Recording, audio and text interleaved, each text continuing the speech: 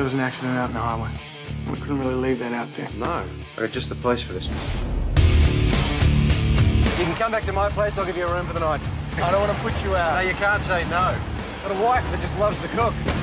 You had any thoughts on where the money came from? How much are we talking about here? A lot. Why'd you hand that briefcase in? Could have kept on going. Honesty is one of my weak points. Are you sure you're not coming in? You know I hear things. And what kind of things do you hear? Just things.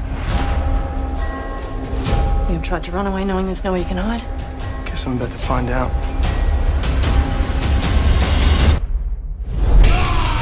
Pretty soon we're gonna have cops swarming all over the place. What do you expect to tell them? I'm home! Ah! Where is she?